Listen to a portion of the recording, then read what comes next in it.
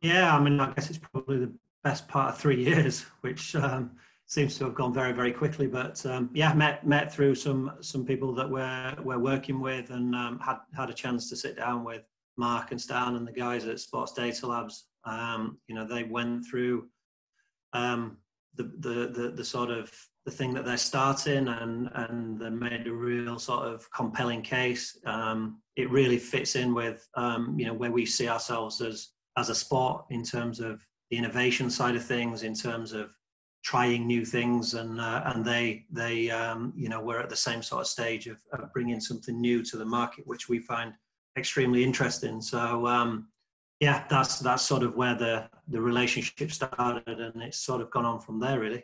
The relationship with the PSA for us started in late 2017. Um, they were always an organization that was high on my list in terms of groups that we wanted to work with um, you know, ever since my time at IMG and the NBA, um, they were always seen as a technology leader um, and always a group that you know we saw as being at the forefront of using new types of technology to really push the envelope in pro sports. So when we had an opportunity to meet with uh, the chief commercial officer Tommy Berden as well as Lee, we jumped on it. Um, so we met with them in Manchester in late 2017, did a quick live demo with them. Um, they gave us the opportunity to do a, a, in-match live test in New York the following month. Um, you know, we had done thousands of hours of testing and preparation for that moment, um, but had never done a live event. Um, so that was really exciting for us. Um, the success of that test then turned into a three-event pilot. Um, we were able to send data to broadcast for the first time the following month in Chicago, which again was awesome for us. Um, and we were able to turn that then into a year-long partnership with the tour. I just think it's one of the things that's probably missing from uh, from the sort of sports um, data side of things. Um, you know, we all watch sport on on a on a regular basis, and the amount of data that's out there now from a viewer's perspective is obviously very extensive. But I think the you know uh, we think the the the next stage is is is really trying to drill down into the individuals and the athletes and the physicality and the the real stresses that that athletes go through in in order to entertain us. Obviously you know there's there's little things out there in terms of you know the distances that people cover and the speed and, and all that side of things but i think that you know the biometric data is is something that that is very very interesting. And sort of as a former athlete i can i can sort of you know look back and, and think of the things that we used to use years ago in order to sort of um, improve ourselves. Um, and a lot of that was around, you know, the, the data that was available in those days. But but now I think technology and, and, and the way that things are going is so much more that we can learn about, you know, the, the, the body and the stresses and the strains and, and, and what these athletes have to go through. And, you know, squash specifically, we, we we firmly believe that our athletes are amongst the you know the the fittest and strongest athletes on the planet. But I think as a sport, we've got a duty to try and tell that story. Um, and I think you know the the work that the guys at, uh, SDL are doing and, and the work that we're doing in trying to tell that story is um, you know it's it's interesting and it's it's exciting.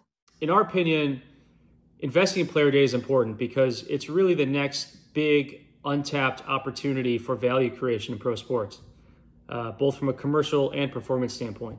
Um, athlete data has the ability to tell entirely new stories around what's happening with the athlete and their body in live performances, uh, which has tremendous value for all stakeholders. Um, so, bringing the right technologies together in order to be able to tell those stories, I think, is paramount to the success um, of the space with that said, I think one of the biggest challenges that the space has right now is that um, you know the sports technology landscape is very fragmented. Um, data is not being collected in game by most organizations. It's not being collected in real time. Um, it's very hard to use multiple sensors and sensing systems. Uh, data sits in silos, um, and the right commercial structures just aren't in place to maximize the value of data. So I think that's where we sit. Um, we really are that interoperability layer that helps organizations work with multiple sensors, uh, get insights, and create more value for the data that they have. Um, and that's really been the focus for our relationship with the PSA um, in helping really unlock the value of their data.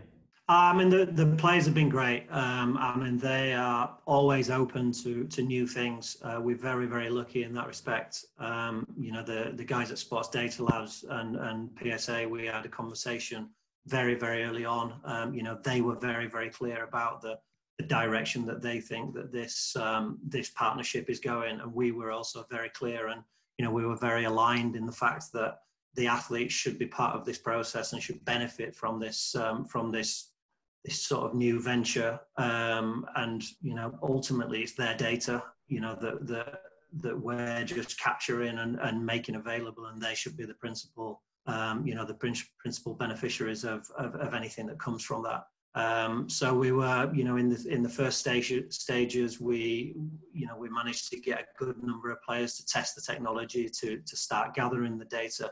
But you know once we managed to get a number of players and once it became you know a pretty sort of set part of our, our broadcast and what we were putting out. You know we were very keen to you know to, to to pay the players for the for the for the use of their data as much as we possibly could. And obviously that's a a relatively small small figure in the in the first instance but you know we we feel that it's um, you know it's it's very new it's a new market and we, we feel that the the only way it's going to go is up. Players have been unbelievable um, the support that we've received from both the players and the tour has been tremendous.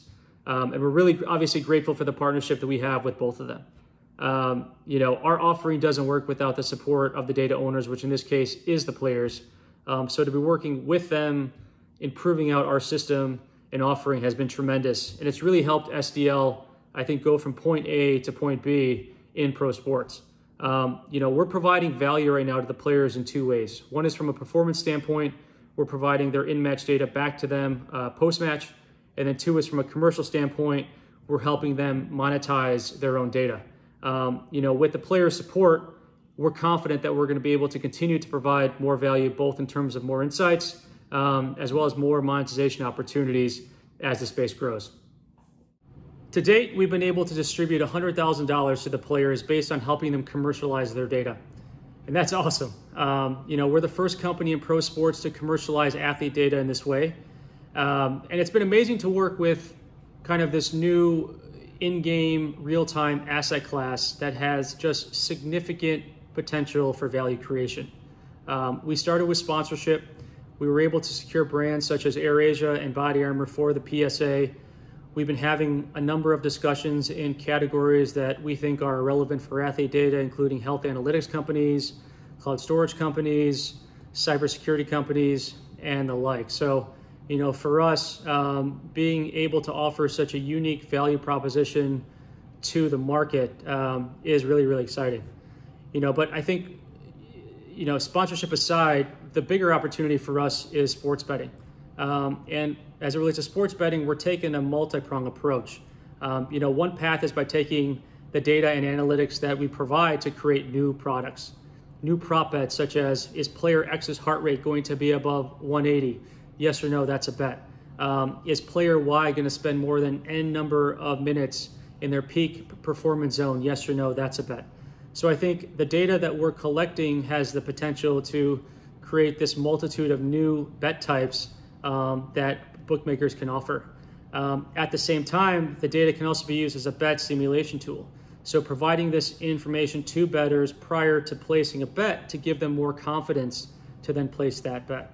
The other path is really focused on predictive analytics um, and p- predicting outcomes.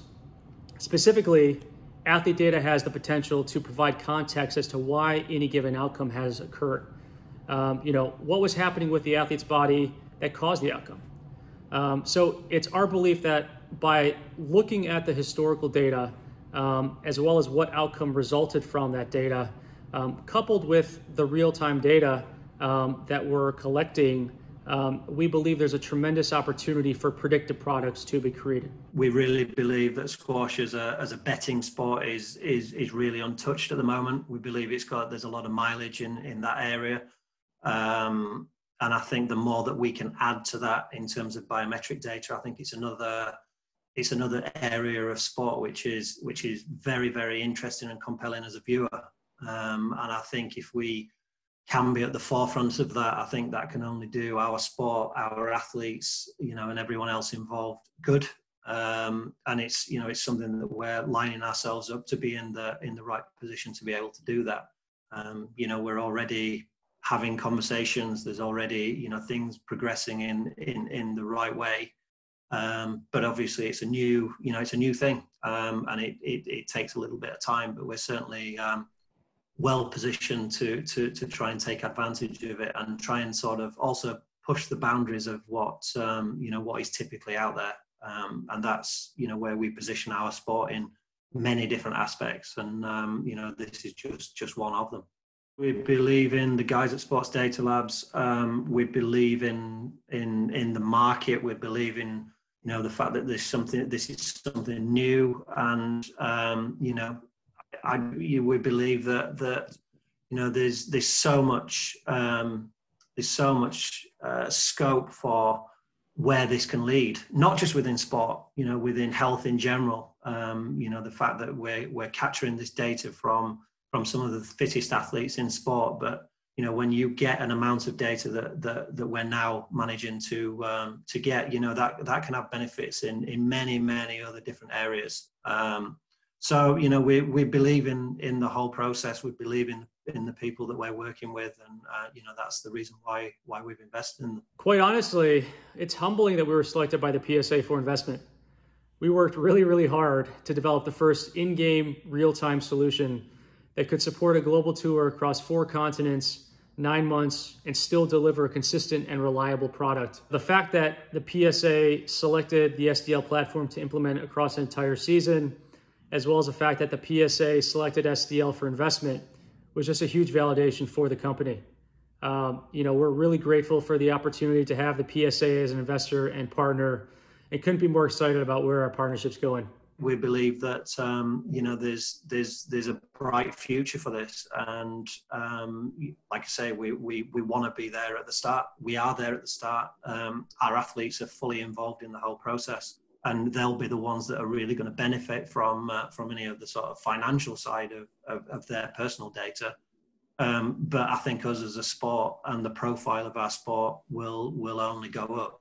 Um, it, it, you know, if this uh, if this goes the way that we think it will go. So you know, we um, we're very excited about where it's going to go. We're not sure as yet how quickly or where, but you know, we think it's uh, we think it's going to be great. Our goal is for the SDL and PSA partnership to be the model for how real time in game athlete data can be utilized across professional sports. Together, SDL and the PSA have achieved a number of firsts in professional sports, both from a real time in game implementation standpoint as well as a commercialization of athlete data standpoint. You know, moving forward, our goal is to really provide as much value as we can to the tour, the players, and most importantly, the fans. That means introducing new sensors and sensing types as well as new physiological, biomechanical, and location based metrics. We're really excited to roll out what's next and couldn't be more thrilled to be doing it with a PSA.